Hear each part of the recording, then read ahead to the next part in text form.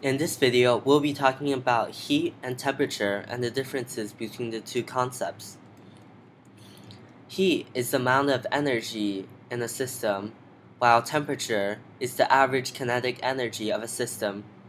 You can sort of think of heat as the total amount of motion inside the system, while temperature is the average amount of motion inside the system. Let's consider an example.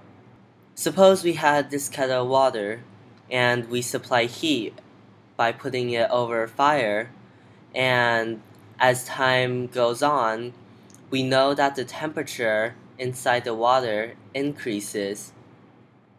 What happens is you supply the water with heat so the total motion inside the water increases and thereby the average kinetic energy of the molecules also increases, which leads to a higher temperature. Let's consider a different kind of problem. Let's suppose we have a bucket of water.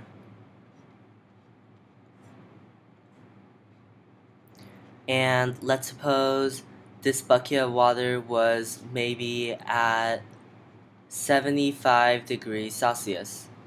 And now let's suppose you also had a swimming pool. And let's suppose the swimming pool had a temperature of maybe 30 degrees Celsius. Now, which one of these two things would you say would have the higher temperature? Which one would have the higher heat? We see that the bucket of water has the higher temperature because we assigned it to be 75 degrees Celsius while the pool is only 30 degrees Celsius. Temperature is a measure of average kinetic energy.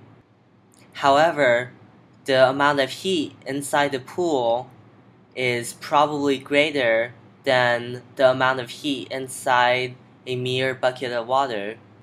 This is because the pool has more stuff and would have more motion as a whole than the molecules inside a bucket of water. This helps us to illustrate an important idea that heat and temperature are different things. Something with a higher temperature can have a lower amount of heat than something with a lower temperature.